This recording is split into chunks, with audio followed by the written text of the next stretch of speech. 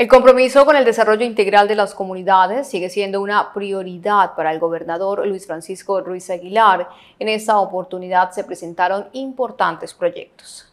En esta reunión tuvimos muchos futuros en realidad para nuestros municipios que fue resaltar del ingeniero de infraestructura.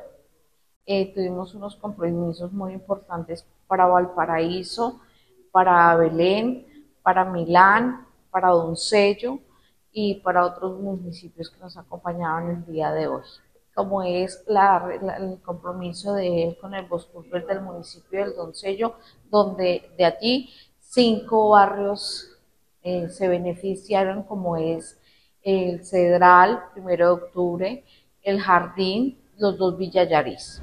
Es así el caso, por ejemplo, del estado de las vías. Entonces le estamos aportando a las comunidades de Solita, de Belén de los Andaquíes, San José del Fragua y Valparaíso la atención inmediata y efectiva con, digamos, eh, el apoyo de la maquinaria, que es un apoyo importante, también con obras importantes como los box culver, alcantarillas, puentes y demás obras que ellas también necesitan en sus comunidades.